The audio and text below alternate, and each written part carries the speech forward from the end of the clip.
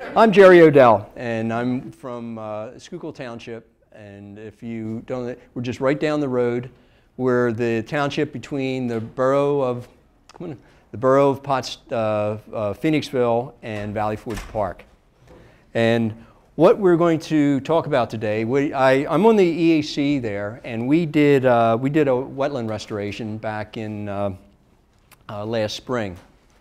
And when I, when I was when I was working on this uh, proposal, they they were saying that uh, you try to get uh, uh, when you're for your session title, do something that's obviously compelling. It explains the uh, the topic, but you want it to be catchy or whatever. And I thought last, back last year, and when we were working, it was nothing but mud and, and it's, it was really true. It was a no-brainer for me. We were muddy, we were dirty, and we really had a lot of fun doing it. So that was the uh, name of our talk, uh, Getting Dirty and Having Fun. And uh, what we, uh, the, let me talk, what I want to do is talk to you a little bit about the site. It's, uh, uh, in, it's called Valley Park. It's in the, the township purchased it as open space back in 2009. And I'm going to walk you through, we're going to do the day-by-day establishment of the, the wetland. There's also a little stream restoration involved with it and uh, a meadow, uh, a little lowland meadow restoration also. And then I'll, I'll talk about that. I have, um, I have some pictures that, that uh, take it through the, uh, the summer and see how it progressed. And I think it's really, it, it became, it's really uh, the beginning of uh, a real vibrant ecosystem. So do that. We have some lessons learned. Uh, we talk about that. And I'm going to turn it over to Drew, and then Drew is going to talk a little bit about the grant uh, funding that we use for this project and also what might, what might be available for, uh, for other similar projects. So um, again, I said the, uh, the, the site is roughly, it's just under 16 acres and we purchased it in 2009 as open space. The residential development right across the street, for some reason, this was before I got involved. Uh, I was uh, involved with the EAC, and he had a problem, the developer had a problem with their uh, wetland mitigation. And so the township worked something out with him so he could and, and what we did, and it really made more sense to do a wetland at this area. So that's what they did. They, they worked something out, and this is what, uh, uh, uh, this is basically what the project is and, and what the site, what, what started it all. The site itself, it really, uh, I mean, it's really from an environmental standpoint, it's a, it's a real gem. It's a treasure. It has, uh, there's a, an upland forest trust me, it, it's loaded with invasives. There's invasives all over, but it does have an upland forest, which is primarily red oak, there's white oak, uh, there's some beech, there's a lot of hickory, smaller hickory.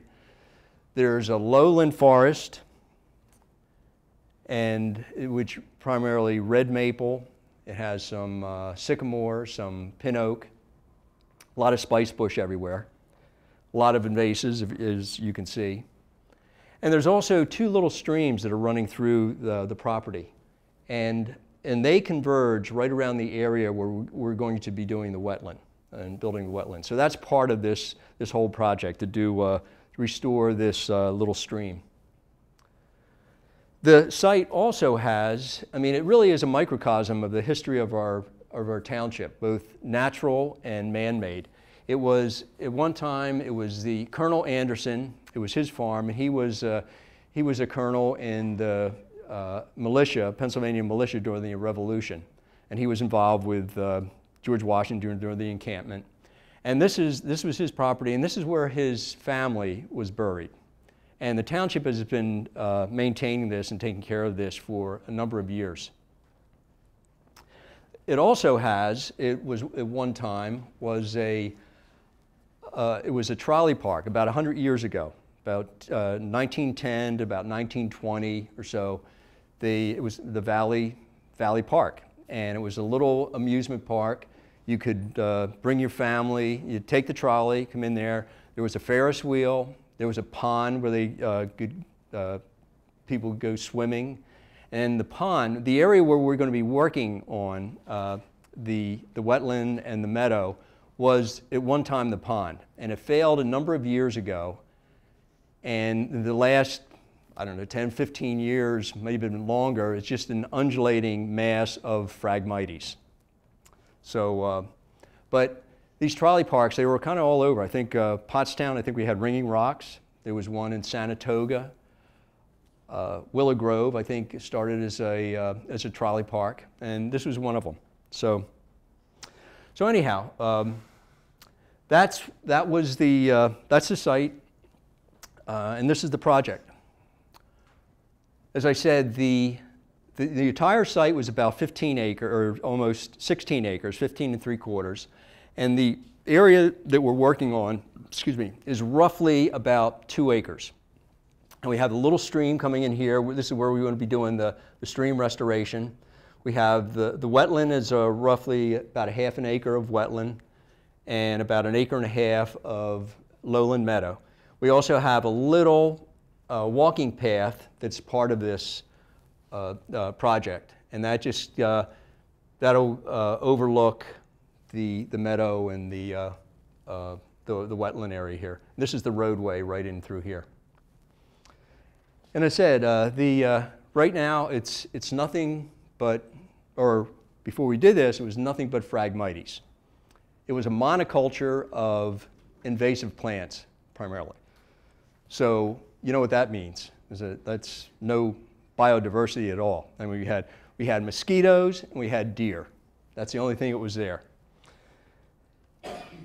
And these guys, the good, they weren't around. So you have monoculture invasive plants, you're going to have no ecosystem. And all these guys, they weren't, they weren't around. It was just, it was just mosquitoes. So what our goal was, was to using native plants, create a, an environment that will bring all these good guys back and create an ecosystem. I mean, they're, they're the ecosystem. You can't create one. You have to, but uh, create an environment that will bring these guys back. So, how did we start? Well, first we had to treat the Phragmites. That was uh, first and foremost, and it was they were really bad. That was 95% of the of the the invasive were them. And what we did, we came in in the fall of uh, 2012 in October, and we sprayed it with imazapyr, and that is a, uh, a non-selective herbicide that's, that is uh, registered for wetland use. And we, we did that, and then our goal was, and I forgot to mention, our goal was to have everything done, all the planning, pathway, everything completed by uh, the middle of May of 2013.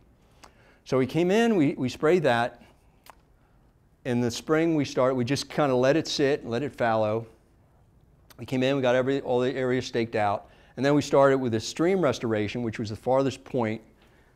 Finished that up, came in, did the grading and the area for the wetland and the meadow, and then moved uh, the path. Usually you put the path, uh, any hardscaping, you would do that first, but since this is the area closest thing, we were driving back and forth on it, that was the last uh, to do. So as far as the stream uh, restoration, what we restoration, what we had to do is we had to do a, a, a storm uh, inlet channel and uh, regrade that so the wetlands and the the, uh, uh, the, the stream would be connected a little bit. Riprap, the usual suspects. Anytime you do uh, stream restoration, you use riprap. and root wads is the first time I ever really was involved with them. I never, I, I never worked with them. I didn't know this was really my first project. I, to be honest, I, I, was, uh, I was in uh, commercial landscaping pretty much my whole life. And so I always wanted to do a wetland project. And it was really my first time to really get involved with it. So it was pretty exciting. And the root wads were one of them. I didn't, uh, didn't know too much about it. I did some research. Stroud has a lot of information on it. And they're a big advocate of, of using them. Just basically taking the branches and it's from the thing and stuffing them in the, uh, uh, the stream and uh, the fish and apparently really, really enjoy it. And then we did some live stakes, which are basically about two and a half foot uh, dormant uh, twigs, or they were about a half an inch uh, in caliber, and of wetland plants. And you plant them in the riprap and along the, uh, the stream bank to uh, stabilize the soil, uh, keep uh, from erosion, and it also takes away that, that harshness that, uh, uh, of, of riprap. It gives, once the, the top they, they fill in and you get some green there, it creates a little habitat and it takes away that harsh look of just having riprap there. So the first thing, this is one of the streams. You can see there was, uh, there was a lot of, lot of erosion there, and we, we put the riprap in and did some grading, backbladed it a little bit, put that in. And then, uh, by the way, everything, all these, if you have any uh, interest or whatever, I did, I did leave a page uh, of all my resources and everything where you can look these up. They really have some great websites and things to look at. So, and what we did, the root wads, uh, what, the area where we put the path, we didn't take any desirable trees, or, but we did take, there were some that were already down. And can you see all right? Some that are already down, and, uh, and the, the area where we, we did lay out the, the path, we just cleaned that up, and then you just put them down there by the streams. And, and that's where they, and then they, kind of the, I guess the fish, whatever, they get down there and they love it. I talked to a couple of the fishermen. Uh, we walked the dog along Valley Creek in uh, uh, Valley Forge Park, and there's a lot of fly fishermen and everything. They love these, these type of things. So that's it. You see some skunk cabbage coming up there. Okay, the next thing we did the, the live stakes, and I really wanted to have a little more diversity here, but we only these were specked out, but I wanted to use some Ilex verticillata, some winterberry, some uh, Viburnum dentatum. But uh, Ernst, uh, the, the only ones they had at the time were, were these, and they're all natives. They were, so, that, so that's what we used. And we put them on about three foot centers, about uh, six that. We used about uh, roughly 650, 700 of them. And that's, this is from Ernst. By the way, if you ever, uh, Ernst catalog is a great resource if anybody that you guys want to, boy, you got all the information have on it. They really were, were helpful. We got our seed and things from them. So that's how you plant. And then the, the root system gets established in, for erosion and you get some top growth. So we put all them in. And I'll go through some of these pretty quickly. I mean, it's just the guys out there planting. And you can see them right right in along there because they're, they're still, they're just dormant right now. So now the fun part. This is what I was looking at, the wetland grading. The wetland is, is roughly, I said, it's about a half an acre. And the, the cut to the bottom of the wetland was about seven feet. And we had roughly four or 5,000 yards of soil that we had to dig out and spread out. We wanted to keep it on site. And the, the wetland meadow, or we're putting in the meadow where the old, uh, the old pond was, that was so undulating and everything else. So it was easy to, to spread all this and get rid of it. And this is the beginning of it. Now, getting back to what we were talking about this morning with Phragmites. And even though we sprayed these, the, the Phragmites, I was really concerned about having any, any of them just uh, survive the, the herbicide in the, uh, in the fall. And what I didn't want to do is take all that material from the wetland and spread it out uh, over an acre and a half of meadow, put the meadow seed in there, and have phragmites coming up all over the place. So what we decided to do, the first foot, foot and a half, almost two feet of soil that we pulled out of, of the wetland, we took that and we pushed that up into a little area on the east side of the basin or the, of the wetland and put it in there. So it was roughly in an area that was maybe 10, 15,000 square feet.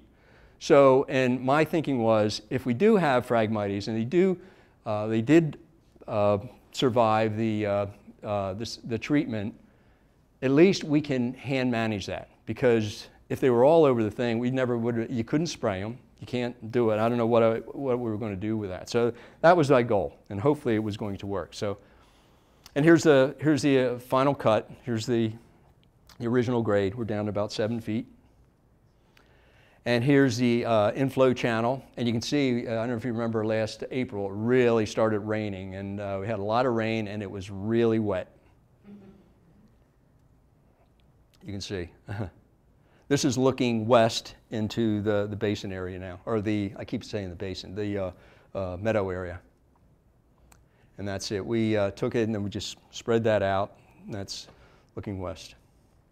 So there's the uh, final, we're pretty close. and There's the, the inlet channel, and there's the final wetland. And, and this is at the end of April, and it was really, you could hardly walk in that. I mean, you were up to your knees in mud, but we thought, ah, let's give it a shot. And we had, the, uh, we had all the, the, the plugs from, uh, uh, from Aquascape, so we said, let's, let's give it a shot. We're going to do it.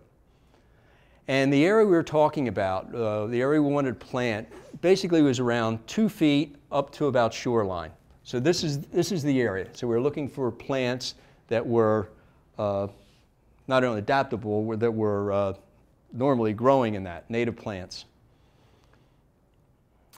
And these are the ones we use. And I have, I'm going to show you all these in a minute, but uh, we did. And uh, a guy, Seth Bacon, who is a he is a uh, wetland, wetland, ecologist and uh, uh, consultant, and he does a lot of work with Gilmore, Gilmore and Associates, who, is, who are our uh, township uh, engineer.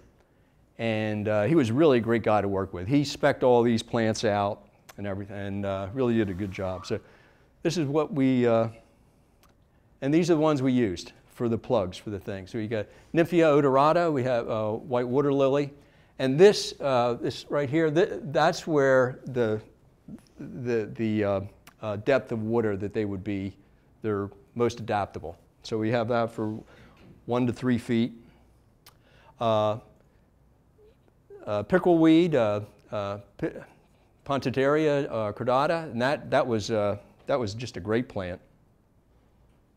Uh, Sagittaria latifolia, the arrowhead, and that's from zero up to about a foot of, Sparganium uh, eurycarpum, burrweed, and these are all native plants.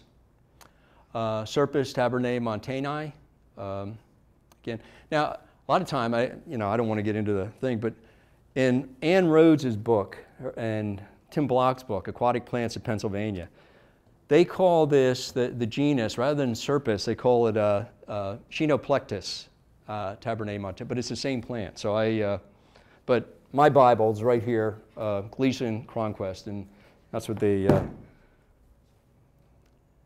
and the uh, buttonbush, the Cephalanthus occidentalis, this was the only woody of the plant. All the other ones were herbaceous, and this is a woody plant. Uh, uh, oh, I wanted to show, most of them were plugs that we planted were plugs. The Sagittaria and the Nymphaea were, were actually uh, rooted cuttings and I just I just put them on there. They're, actually, I guess there's uh, stoloniferous, and uh, you just uh, the big bag of uh, of roots and things. But the other ones were just were plugs. And I said, you know, we planted these about three, about two to three foot centers, and uh, this is also from Aquascapes. Uh, they, this is where we got all our our plugs and everything. They have a great website as well.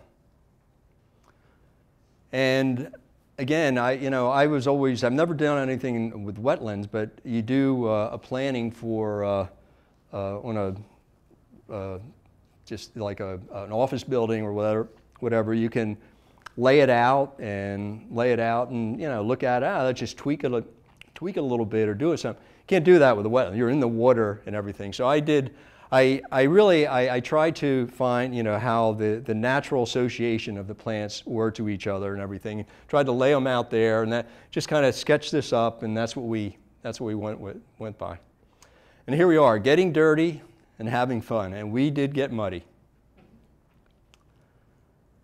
See them put them in. And you can see how deep they were. They were up to their up to their knees in, in muck. Which, which one are you then? I'm taking the picture. I did, I did get stuck in there. Yeah. yeah. I actually got, I did get stuck. yeah. so, yeah. and the, one thing I want to point out, look at the color of the water here now. Mm, Just keep it, you know, going down the road. Um, okay, we finished up the, uh, the wetland and then we went to the meadow. And uh, again, Ernst Seed, they were great. Uh, uh, Seth had specked out some uh, seed mixes for this, and they were so close. They already had their, their mixes already made up. There's just a couple that we, uh, that we did a custom mix on, but, uh, but they were great. But they have their, uh, and it's a, it's a great resource. I don't, don't want to go through the whole list of what was in that, but they're all, these are all native plants, and they were, they were really good. The cover crop, we talked about this this morning, but one, the cover crop they used, uh, we, that was specked out, specked out was red top, which is a, agrostis, which is a, a bent grass. And it's not a native. And we do, in Schuylkill Township, we put in, we have a native plant ordinance we put in in 2009. And I didn't want to taint that in any way. And red top is a great plant, it's a great cover plant. You use it in projects like this all the time, but it's not native. It's a naturalized uh, uh, uh, a seed. Another name, red top. Red top is, I, I don't know, it is a bent grass, so it's in the uh, Agrostis uh, uh, genus. It's, uh, is it as tall as like a cordgrass? It is. I mean, get it, it but it, it's also bent grasses. They they do. They're a little rhizomatous too, uh, but they're they're good. They can hold. They're good for erosion control. Yeah. And uh, but again, it was they've been here. They've been over here a long time, but they're not native. So. So anyhow, I, I tried to find and like we talked, I, I got some nice cool season grasses uh, that were native, uh, Riverbank and Virginia Wild Rye, and that's what we used for the native. That was the only change I made on the. Uh, uh, Annuals? excuse me? Are they annuals? No, no, they're perennial. They're perennials. But they're, they're much faster established than a lot of the other Is that a? warm okay. season and cool season Yeah, grass. yeah, exactly, yeah. I've used um, oats. Yes. And oats was another one, and there are, but I, I wanted to uh, I wanted to keep it also. This is just because of the, Wet the the wet area. Yeah, yeah. So that's uh, that's what we end up using. So, and what we did, I mean, I had uh, we didn't have any uh, spreader you were talking about this morning, and I just had little cyclone spreaders and thing. And the the seed, uh, some of this. Uh, Wildflower seed, it's fluffy, it is, and it really, uh, we we weren't on the cyclone spreader. You couldn't get a real good I was afraid it was going to be too spotty and everything. So this is Nick. Nick is the uh, the roadmaster. He and I seeded all this, and what we did, we just took we just took buckets and we uh, put the the seed in, uh, and we marked off little with our, our little um, um, markers, you know, 50 by 50 feet, and we just were like feeding the chickens. He went in one direction, and I crisscross went in the other, and we got really good just to get uniform coverage, and that's how we that's how we put it in. You can mix the seed with, uh, like With sand or some, yeah, there, there's some other things. I didn't want to get in. I mean, didn't have. I just wanted to get it done, and, and this. Uh, so, yeah, and we did we, we did mulch all this with hydro mulch, and and the kind of he wanted to he wanted to put it. I said no, I'm not going to put it in the thing because theoretically, what would happen? You you put it in with the mulch, it's not going to all make soil contact. It's going to germinate in in the mulch and. Uh, but we ended up uh, using just uh, a straw mulch rather than uh, uh, straw or whatever, and we did that. So, but but we did it, and uh, we got everything in, and that's how we. Uh, there are our flags there. We did. So we got that. The last thing to do, we put in the path, and that was about a six foot wide paved path, and we'll probably down the road we're going to extend this when we do something with the rest of the uh, the site down to the historical areas, and it does overlook the wetland and the uh, the uh, the uh, meadow there.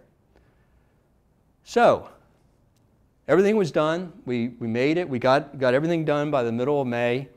And then I was concerned, okay, how's this stuff going to, going to do? Because I got to tell you, we didn't, we, you, you dig a hole, you put the plant in, you backfill it. This was like working in soup. We would just put it in there, and I, I said, how? And I kept talking to John over at Aquascapes. He said, don't worry, it'll be fine, it'll be fine. But I, there was nothing, it was just, you know, it, and I was worried if we start, we were getting all this rain, they would just start washing some of the plants away. But, uh, but he said, don't worry. So, so we went down, this is about three weeks later, we finished the we finished the planting the first week of May, and uh, there it goes. Um, we went down and yeah, it started. It was growing, so at least it didn't wasn't moving. so we went back in in June, take pictures, and you see the, the bulrush here, and the uh, sparganium is here, uh, the pickerel weed. Uh, so it, it was really, uh, and the lilies and stuff. They, uh, so, uh, so it was doing. Remember I said when we took that initial uh, grading and we pushed it up on the hill, because I, I didn't want Phragmites coming all over the place. Well, you can start seeing some of this. Some of these things, they did survive and they were growing on, the, on that slope. There's not a few, a few of them here, not a lot, but uh, here they are here. You can see more. The, the, the meadow, I mean, it was a little wispy. They're primarily warm season grasses, and my, so I wasn't worried about they weren't going to germinate this quickly. And also, if you remember, uh, last, last summer, until the middle of summer, it was, we had pretty cool nights. So, uh, so the, the, the soil was warming up and everything, but it wasn't, you know, it wasn't going to uh, germinate that quickly. So I wasn't worried about that.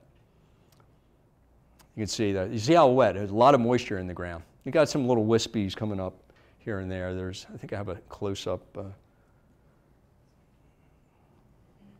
there's a couple. There's wild senna right there. There's some uh, Rudbeckia. Not too many. There's panicum, switch uh, was in there. You know, didn't see too much of that coming up just yet. So the live stakes and the riprap, they look good. They were all they all leafed out, and it looks like they were going to, uh, uh, you know, they all survived.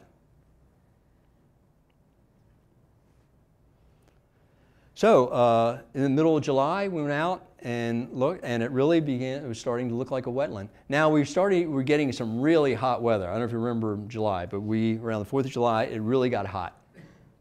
But things were, you know, it was, uh, yeah, I was feeling pretty good about it.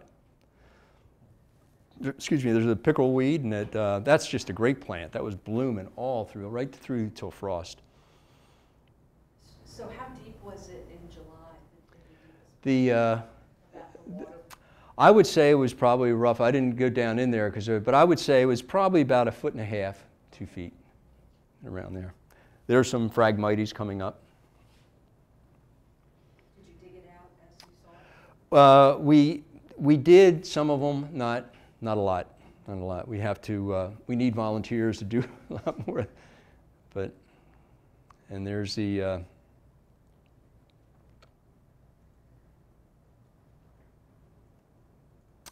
The meadow is really starting to perk up, and uh,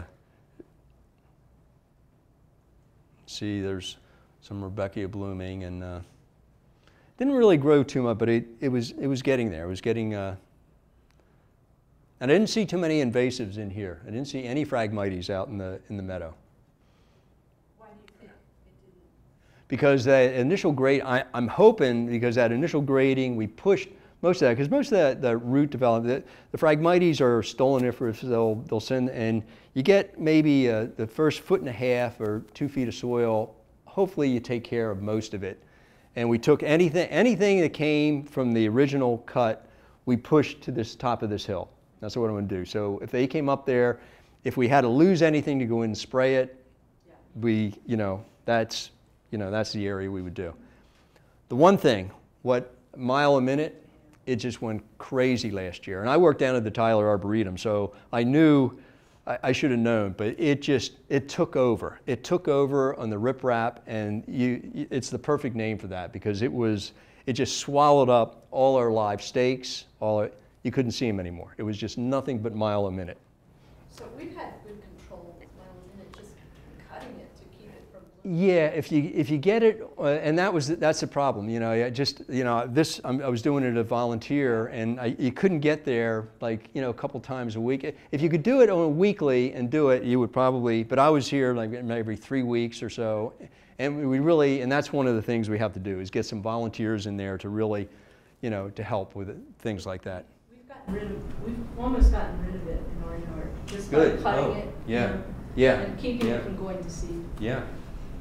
So, and here I, I just call that that's my uh, that's the Phragmites berm there. That's uh, we pushed everything up into there. We have a lot of there is a lot of the wild rye coming up, but but it, it, it's small. It's a, a small enough area that we can probably you know maintain. Just go in and we'll probably weed whack things, weed whack it back, and try to get it um, get it under control. And this is in August. And you can see there's, this is some nutsedge coming up in here. That's pretty, uh, that's a scourge of uh, turf man, grounds managers, but they, uh, it's a pretty good indicator of uh, a lot of moist, moist soil, wet soil. It looks so, so innocent too, doesn't it? Yeah, yeah. Yeah, but it was fine there. Didn't hurt anything. And there's the, uh, again, there's, see some Phragmites, but you can see the, uh, the meadow is really, really started to uh, perk up, really look good. Now, getting back to what we're, my, I, I think it, you know, does everybody know the uh, apical, apical dominance, where uh, the, uh, a plant just wants to grow up, and that, that apical meristem is really, is going to, is going to grow, because it wants to grow up into, into the light and photosynthesize. And generally, when you nip that, then that, uh, that releases and you get some lateral growth and everything. Generally, you do that with, with any plant, grass, you pinch back your flowers, uh, any, any kind of uh, tree, anything will, will do that. It, it just wants to grow up. And I, I thought about doing this here, but we're, we're getting into the end of August, and the, I wasn't uh, real comfortable with the equipment that the, uh, the roads crew has because it's all, it was all cut to turf, about three or four inches. I only wanted to take maybe the seed heads off and things like that. And, and so my, my thought was, you know what? We're not going to cut it. We're just going to let it, let it grow. It's, it's going to photosynthesize. And the energy sink is, is uh, for the top growth at this time of the year. And then by September, October, when it stops growing, it's going to, the, it'll start sending that, that food, that photosynthate down to the, uh, down to the root system. And, and that's what I wanted. We, they do have a flail mower. This was, there's no way I wanted to put this with a flail mower. They didn't even have a root system yet or rip all the, the plants right out of the ground. So, so I just opt to not cut anything at all and wait. I told the, the crew, I said, we'll just wait until uh, we get a good frost, everything goes dormant and brown, it stopped photosynthesizing, then we'll just we'll go in and cut it back. And that's, that's, what we, uh, uh, that's what we did. So, lessons learned. Um, site preparation, I, I would have liked to have gone in and treated the Phragmites a year in advance to get it under control and maybe just come back six months later or whatever and spot spray what was there. Because, and we talked about, you know, we thought about what you were saying this morning with, uh, you know, maybe not even put wildflowers in the original thing, just have grasses. But the biggest problem was Phragmites, which is a monocot. You can't, you wouldn't be able to spray that because uh, a broadleaf uh, herbicide isn't going to do that. It, it, anything that's going to kill that is going to kill the grass also. So, so I was, uh, that's why we said, okay, we'll just push this up and get it, you know, get it, uh, maintain it that way. Also about the, uh, well, just go down. Uh, uh, the root wads, I mean, it it's a great uh, uh, habitat for aquatic, for fish and turtle, things like that. I've never, it's the first time I ever really was involved with it. It should more often for the mile minute, just get in there and get it cleaned up. And getting back to the Phragmites, which I started up here, we were down, um, gave a little workshop to a group of uh, volunteers from the Heinz Wildlife Refuge down at Tinicum Marsh, down by the airport uh, last spring. And they invited us down, my wife Kate and I, we went, we went down to, uh, uh, to visit it. It was really neat because every time you go to the airport, it's, oh, one of these days I have to get down here and see this. But we, we finally got down. And uh, what they do, because they always have a big Phragmites problem, they can't do any spraying as, as uh, volunteers, but they go in and they just, they weed whack it down three or four times a year they, before it gets in the spring, uh, early summer. It doesn't, they don't let it get to seed, cut it down, And what it does, because it can't photosynthesize, it can't, it just deplete, it just uh, depletes the energy. And after a couple years or so of doing that, it just, it takes care of it. And, uh, and then other plants, more desirable plants and whatever, they come in and they'll take over. And uh, so we're going to start doing that with here, uh, with this area, too, because I don't want to spray it, um, because it's, you can, like we were, uh, who were saying this morning, you may be, and I've done that before, you can cut, cut it back to maybe just a little stub and kind of spot spray or whatever. I, you know, I, it, it's a tool. I don't like to do a lot of spraying, whatever, but sometimes that, that might be the best uh, alternative with some things.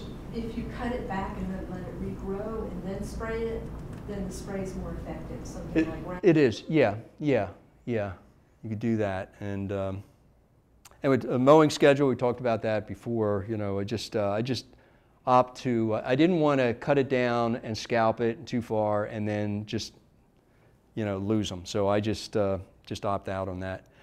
The wetland plant establishment, I was, uh, I really was, I was shocked. I, first time I ever worked with wetland plants and did it, and they really, they, they did a great job the first year. You really got a lot of bang for your buck with them, and uh, they really look good. Remember I was saying about the, the color of the water, and this isn't the best picture, but right before we plant it, and this is in, in April, the water had kind of a greenish, almost algae look to it. After these plants got developed uh, a root system, they're growing, it was never like that again. It was, it was always actually even clear down to about that much. And I, you know, I know that there's bacteria. I mean, that's the whole point of wetlands. They do, uh, they're like natural, natural filters, but it was a really good uh, illustration of, uh, and that wasn't the bad. I was trying to find one that was really, because it was green. And then the other ones were, they were clear. Uh, it was, uh, I, I was, uh, and they work for free. You don't have to do anything. It was, it was great.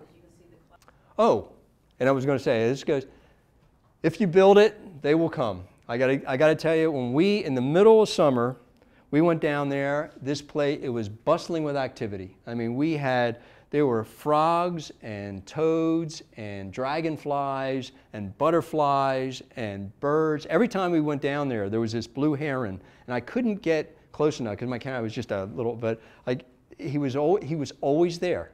He was always there. So, uh, so we went from a mosquito infested thing to, and it, it really was, it was amazing. So it really is beginning to, uh, you know, uh, become an ecosystem. So going from here out, uh, we did, because this is a township, this is part of our open space, This is a township uh, uh, property, and we're trying to uh, do something going forward, like a little park, whatever. We uh, had set up a steering committee with uh, different representatives from all the uh, uh, councils, and, the, and I, I was the EAC rep. And we had uh, Gilmore and Associates, their landscape, Chris Green, who is their uh, landscape architect, really did, a, really did a great job. And he was taking in everybody's recommendation and whatever. And we came up with a kind of a conceptual design uh, that everybody seemed to be happy with. This is the area we're, um, we worked on down in here, and this is the rest of it. And the, um, we, we sent out flyers to the township residents, and we had a, a meeting. It was right before the holidays in uh, November, and we had a really good turnout. Uh, Everybody got, got a lot of feedback from the residents. They were very happy with it, and uh, so we'll see. Now we need some grant money to, to move forward with that. The last thing that we did on, on the site was we had, we were required to put in the, uh, the sign from DCNR. A grant. $40,000 Yes. And uh, what I'll do, I'll, I'll let uh, Drew tell you about some of the funding we use for this site and what be similar sites. And here is my, real quick, there's my uh, thing. I do have, uh, I made some sheets if you're interested. These, these are really some great websites and things for, uh, for wetlands. Things. So, so that's it. Uh, My name is Drew Gilchrist. I am the Regional Advisor for the Department of Conservation and Natural Resources. Uh, what- One of the great things about my job is I get to help communities and nonprofits fund their conservation and recreation goals. Uh, So my, my particular department, my bureau uh, within the the Bureau is it called the Bureau of Recreation and Conservation. So Rec and Con is sort of a subset, another bureau like Bureau of Forestry, Bureau of State Parks, Topo Geo, are smaller bureaus within that greater Department of Conservation and Natural Resources. One of our primary jobs is providing technical advice and uh, grant monies to do projects like Jerry was talking about today. So our grant program, and it's the first one on the list here, um, is called the Community Conservation Partnership Program, or C2P2. And that provides funding for land acquisition for, for natural areas, acquisition for recreational lands. Uh, It will provide planning work for master site plans for uh, parks, uh, for recreation areas, uh, feasibility studies for things like pools. uh, We also do a lot of trail building. We heard today William Penn talking about the circuit. We spend a lot of money every year helping to build the circuit around the, uh, the trail, the major trails around the Bucks, Montgomery, Philadelphia, Delaware County area. Uh, My territory is in sort of the southeastern part of the state, so myself and another gentleman, Jeff Knowles, have Philadelphia, Delaware County, Chester, Bucks, and Montgomery. There are similar people to such as myself in the south central part of the state and the northeast. So if you're from Schuylkill County or from Berks County, uh, there's a regional representative up there that would take care of your needs. Uh, Our program uh, funds projects, really the smaller projects are like twenty, thirty thousand dollars, going up to about two hundred fifty thousand dollars in money that we would put out. And ours is a match program. So our program would be that you would come in and say the project's worth hundred thousand dollars. So you would may apply to our program for about 50 percent of the money or ha- half the money. So um, I'm not sure what the the budget was for your particular project here, but again, we would provide about half the funding. Now, uh, we encourage uh, folks who are using our money to partner with other groups. So watershed associations, um, Kiwanis clubs, folks who can bring some money or in-kind services to the table. Now, that match can be in-kind or it can be just, you know, cash. Um, Cash is always a very fine thing to have in your hands to be able to match our program for. But we do um, encourage partnerships. One of the other things we do in our parks is we're really encouraging uh, the green and sustainable park. So this Valley Park was really, really right up our wheelhouse.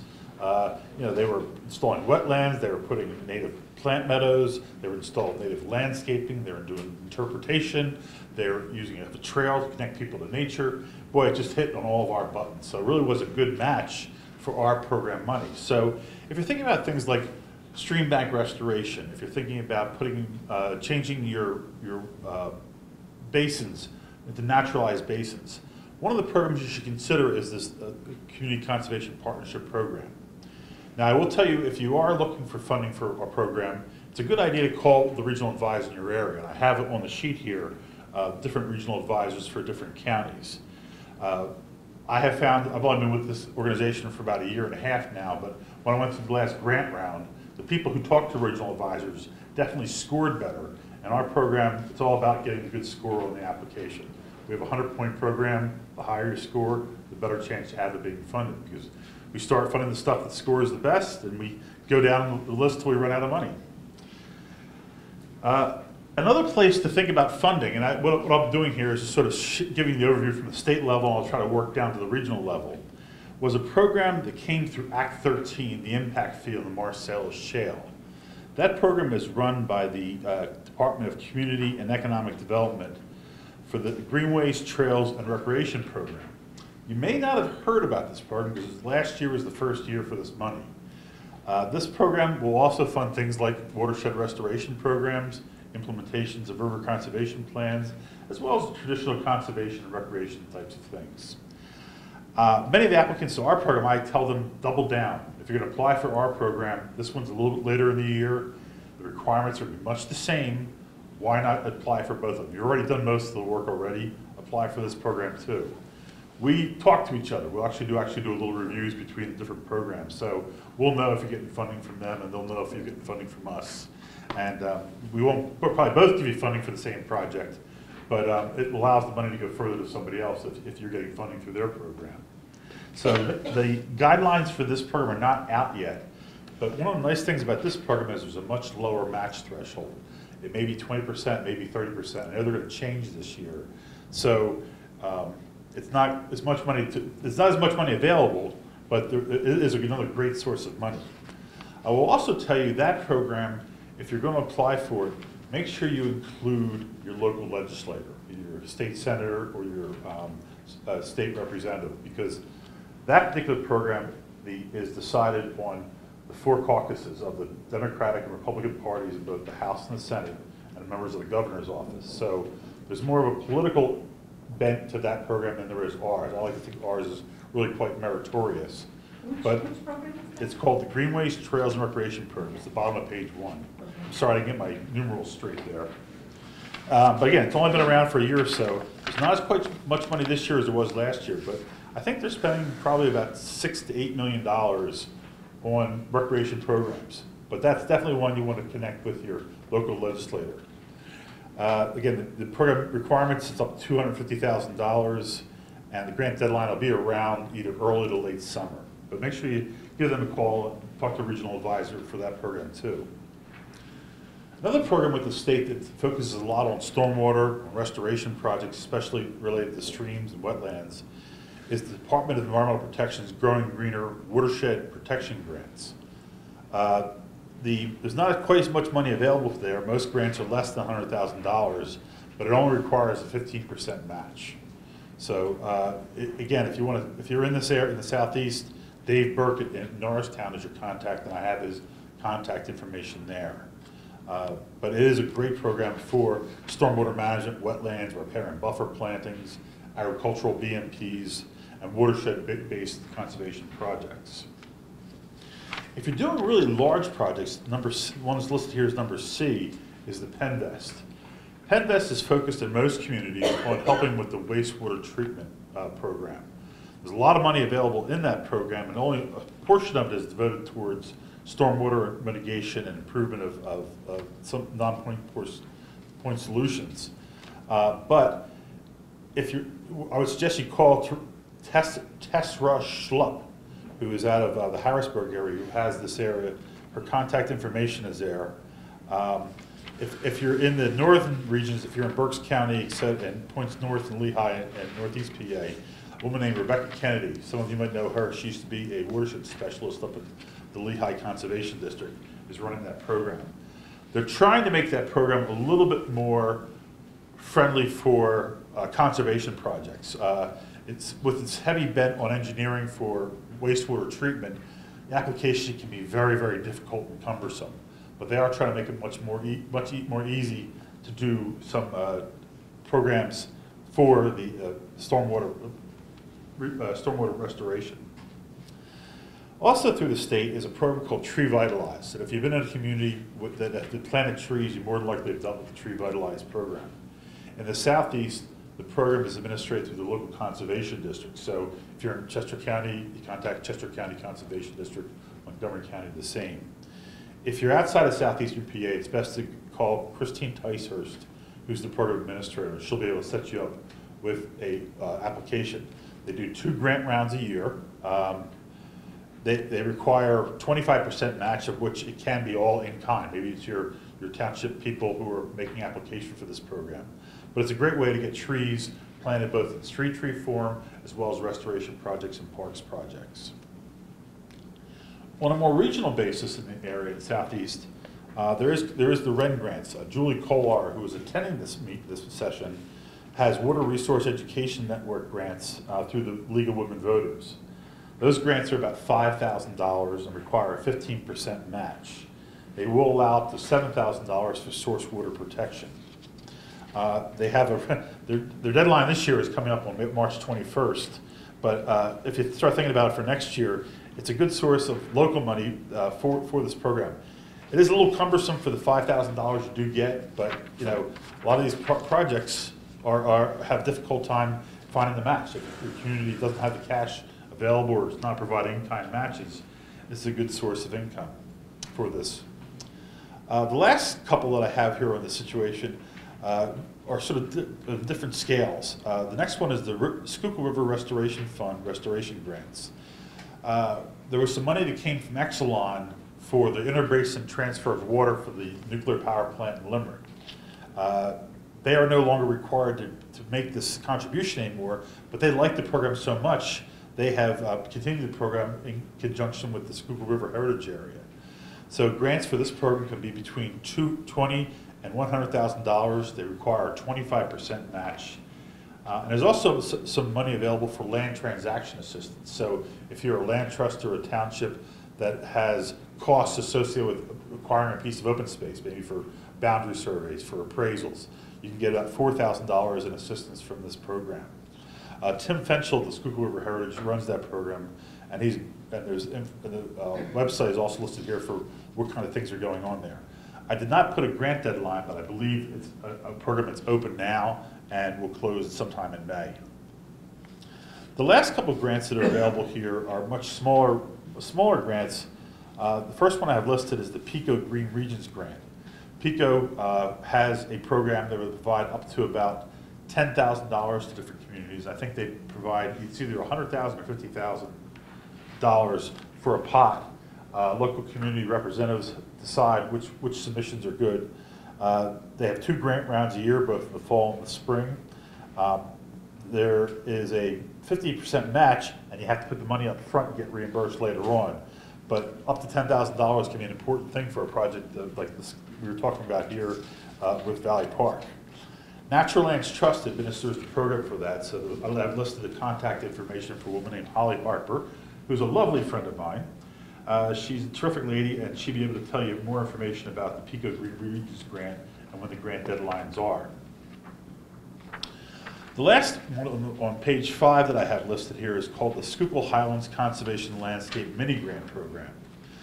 DCNR has designated conservation landscapes throughout the, the state. In this area, it's called the Schuylkill Highlands. Up north in the Great Big Woods is called the PA Wilds.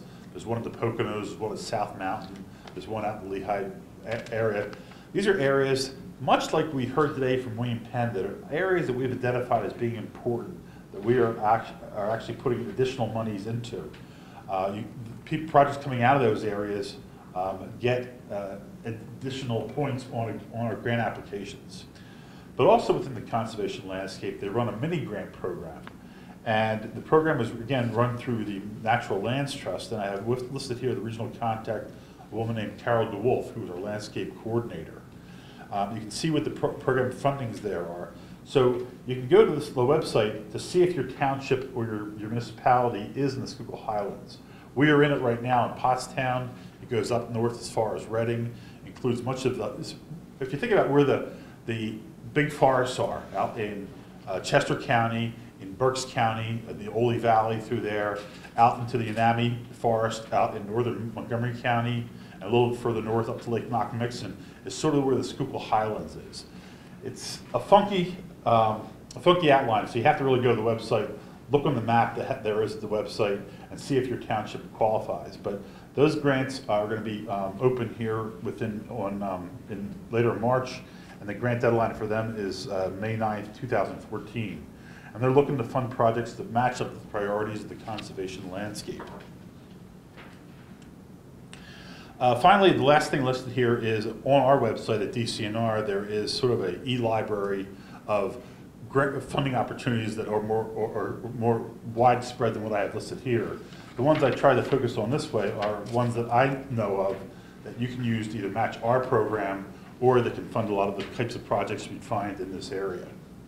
So, I, I went through that pretty quickly, but I figure you have everything written down, and you guys can read, obviously. Um, and I know that I'm also standing between you and getting out of here. So, I wanted to keep it brief, uh, but uh, those are some opportunities. Uh, The program that I run, the C2P2 program, um, is open until April 16th. That's the program that funded the Valley Project. And uh, we are just tickled with the results. Uh, Jerry and his crew and the township did a wonderful job. They had great partners. Uh, It's a real sayest community in Schuylkill Township, and we were really proud to be part of that. So I thank you for your time.